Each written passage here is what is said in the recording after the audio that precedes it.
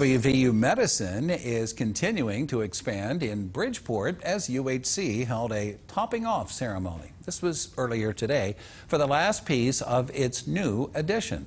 The steel beam featured signatures of hospital employees and a tree with a flag atop, all that for a good luck measure.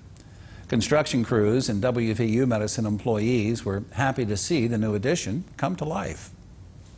We've been expanding for 10 years, um, not only here on this campus, but, but throughout the region and many of our physician office buildings. Um, the growth of this facility over the last 10 years has been pretty remarkable. The new addition will have five floors and will feature a new WVU School of Nursing campus, two new operating rooms, and an expanded pharmacy, as well as more.